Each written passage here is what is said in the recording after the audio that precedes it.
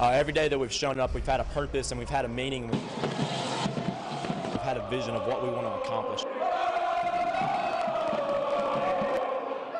Northwood knows how to put on a show, and in year two of the Austin Brown era, Coach Brown is making things even more interesting, upping the stakes, scheduling Benton, Haughton, and Central Baton Rouge. As far as the schedule and stuff, we uh, the players never blinked an eye.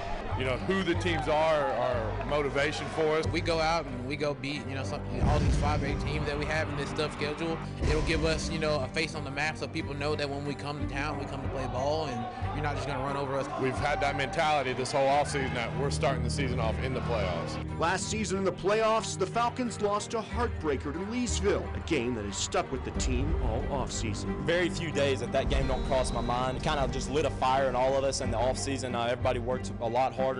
Um, we, you know, we, we want to meet them again this year and, um, you know, to have a different outcome. The, the Leesville game, we took that real personally.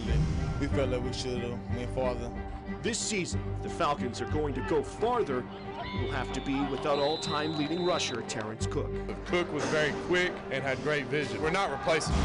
Uh, you can't do that. But we do have Hugh White, who was he was his backup last year. He was second team all district as a backup. In year two of the Austin Brown era, the expectations are sky high, and the Falcons are poised to rise to the occasion.